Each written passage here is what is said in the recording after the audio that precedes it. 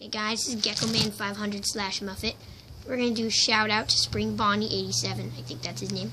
And this is a Springtrap to show him how cool he is. And showing him, he asked what beads were. So those are his beads for his legs right there. Thank you, Springtrap. And thank you, Spring Bonnie 87. Goodbye.